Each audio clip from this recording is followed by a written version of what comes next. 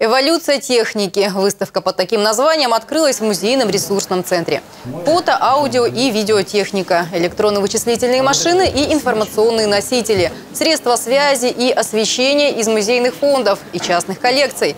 То, что уже давно вышло из моды, сегодня можно увидеть на выставке. Ну а свои фантазии о том, как мир техники будет выглядеть лет через сто, желающие могут представить на конкурсе «Техника будущего». Предусмотрен здесь и небольшой интерактив. Отзыв о выставке можно оставить на печатной машинке. Выставка работает э, до лета, э, вход свободный, приглашаем всех желающих.